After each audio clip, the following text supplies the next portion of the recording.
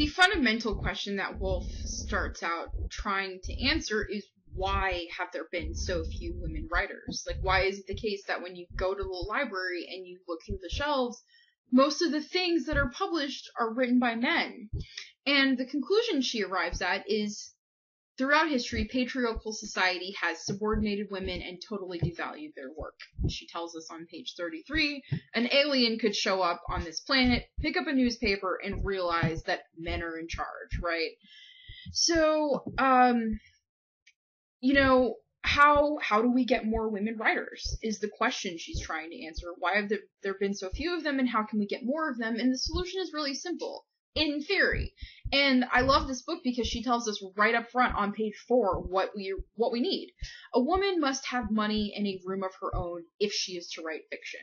Woolf says. Great, wonderful. End of the book, right? Not quite. That leaves the problem of the true nature of woman and the true nature of fiction unsolved. So she's like, sorry, I gotta keep talking, but, um, you know, what we need at, at the core is if we want women to, to be writers, we they need money and they need a room.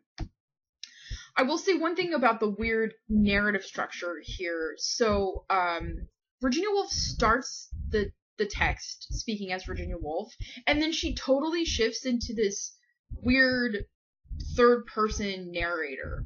Um, and I call her, I, I, guess I refer to her most often as Mary Benton. Um, she's generally I guess we assume that she's speaking for all women generally. So um, she's first she's Virginia Woolf speaking for Virginia Woolf, then she's Mary Benton speaking for the the average woman. Um, you know, so when she says here here then was I, call me Mary Benton, Mary Seton, call me whatever you want, it doesn't matter. It's because she's trying to represent all women to herself. And it creates this kind of neat trialogue between Woolf and all women and the reader specifically, which, you know. So if, if I refer to Woolf or Mary Benton um, interchangeably, just don't, please don't nitpick about that. So Mary Benton starts talking and she starts talking about being invited to lunch at a men's college. And um, she, she calls it Oxbridge, which is just this smashing together of Oxford and Cambridge, right? The two most famous colleges in the English speaking world. Um, so she's invited to lunch at Oxbridge and dinner at a women's college that she calls Fernham College. And uh, she notices these really stark differences between the meals that she's served at the colleges and and this is really significant so when she goes to lunch at the men's college at Oxbridge, she notes how well the men are dining. And this is not like a holiday, it's just a Tuesday. It's just some ordinary lunch.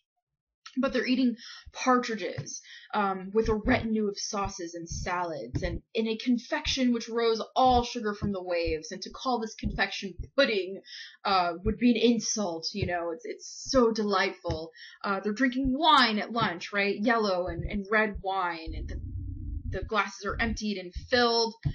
And so that's her lunch. And then she goes to dinner at the women's college and she says, We had soup. It was plain soup on a plain plate. Some beef with some greens and potatoes, some prunes and custard, some biscuits and cheese, and they literally passed a water jug around. And that was it. There was no fanfare, no fancy food. The meal was just over. And so she says, you know, one of the things you can tell by looking at these two meals is that the financial situation of men and women are is is very different, right? And you know, she says one cannot think well, love well, sleep well if one has not dined well.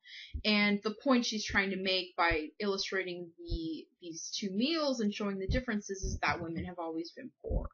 Um, so she's she goes next to the British Museum and she's thinking, why why are men why do men drink water, wine and women drink water? Why is one sex prosperous while the other is poor?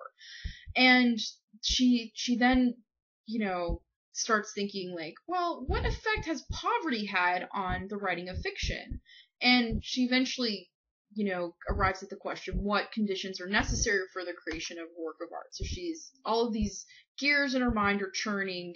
Um, she's looking at stuff in the British Museum and she's she's looking at books and she she asks the reader, "Have you any notion how many books are written about women in the course of one year? Have you any notion how many are written by men?" Women, are you aware that you are perhaps the most discussed animal in the universe? See again, it's like women are a mystery that people that men have to try to figure out. So we we dissect them and, and discuss them in our in these books. So she's at the British Museum to do research, and she's looking through all these books, and she comes across all of these differing opinions about the nature and status of women that are, and they're all written by men. So you should look at some of these. You can find them between page 28 and 30. Um, and she assigns a random opinion uh, to Professor Von X, just some random dude who's writing about women. And she she has a theory about him. She makes this conclusion about him where she she realizes that he's really angry. Um, and these opinions that he's writing about women are coming from this place of anger, she says. They're written in the red light of emotion rather than the white light of truth. What are the men angry about? She wonders. She figures out that it's fear. So, the way that she constructs this picture is that women have provided this essential psychological function to men since the beginning of time. They have been there for men to have someone to feel superior to, right?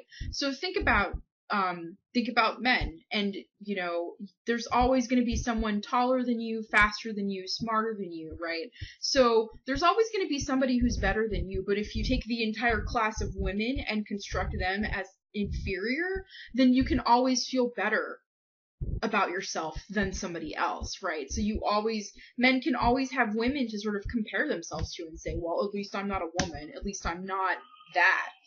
So men have realized that women, the inferiority or the inferiority of women actually provides this really essential psychological function and it gives them self-confidence. And that's what you get when you believe that you're superior to other people it's not that the professors who are writing about women are so concerned with the fact that women are inferior, but they are more concerned about their like establishing their own superiority, and that's been preserved throughout time by the the viewpoint of men.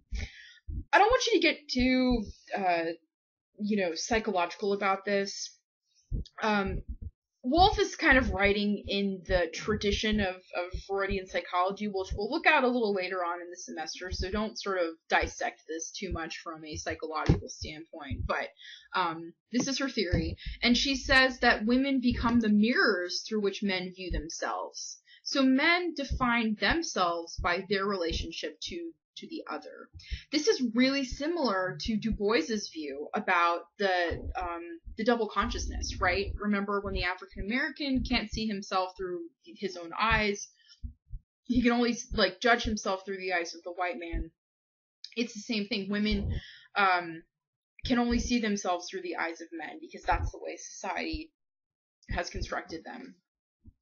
Okay, so uh, we'll leave the psychology behind for a second, and then Woolf uh, Benton starts talking about an aunt of hers who died and left her an inheritance, and her inheritance uh, is what allowed her to become a writer, to to write and to thrive. And it wasn't much. It's not like a million dollars a year. It's 500 pounds. That's not, you know, that's a really modest sum. Uh, but Woolf's uh, Wolfer Benton says, you know, if you took this money that I was left, my inheritance and the right to vote, the money was actually more important to me. It seemed way more important because nobody could take it from me. Food, house, and clothing are mine forever. So I think that's really controversial, right? For her to say that money is more important than the right to vote. I think that Du Bois would have something really, um, you know, negative to say about that. But what it all boils down to is that Woolf thinks that intellectual freedom depends upon material things. And women have always been poor, not just for the last 200 years, but from the beginning of time they have been poor.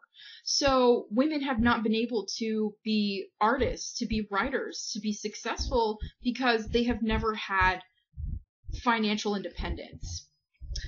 So, you know, when you look at when you look at the three texts of the Communist Manifesto, The Souls of Black Folk, and uh, Room of One's Own together, I think you can see this really interesting line of thought um, come through about money, and um, so it's a really it, it's interesting to kind of compare and contrast and see what Marx and Woolf would say about Woolf's emphasis. Marx and Du Bois would say about Woolf's emphasis on money, um, and whether she's right about it. So for example, Marx might say, well, of course she's right because we live under capitalism and, and that's why money is, is a requirement. So, um, you know, those are things that you should look at. So I'll stop this one here and then we'll talk about women in literature.